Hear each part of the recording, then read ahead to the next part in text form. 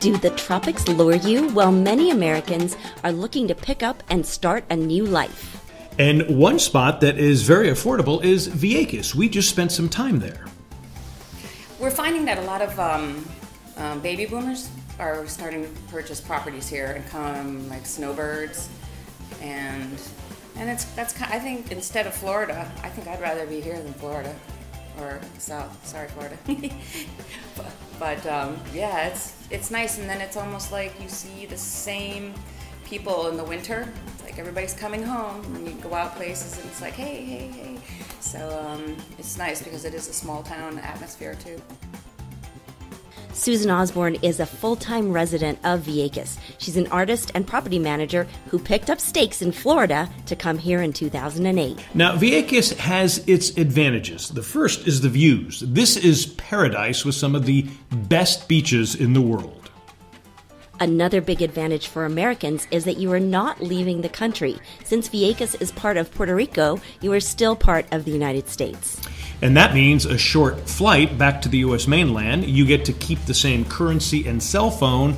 And although Spanish is spoken here, English is too.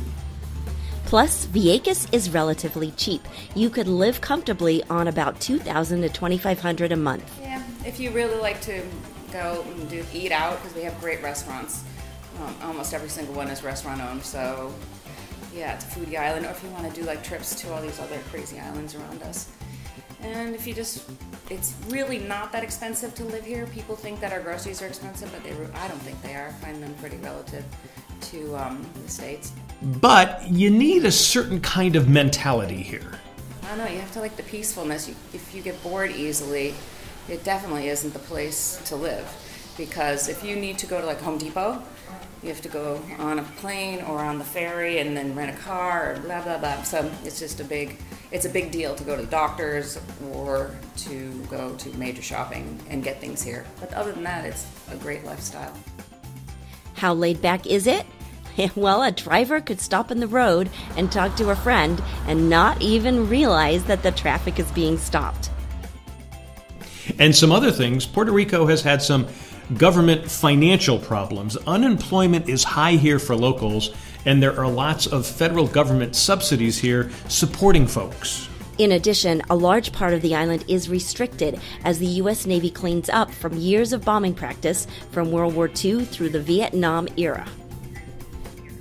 And many residents claim that the military left traces of uranium, which has led to a higher amount of cancer rates there. But because the island relies on tourism, if you have skills in the service industry, you can make money. We were told a good bartender could make around 5000 a month in the right job. Also, we are told a good car mechanic too. Now, if you're interested, it is suggested you spend a few months there. There are house sitting jobs available. All you have to do is go online. If you're looking for a hotel room, just go to jetsetterdeals.com.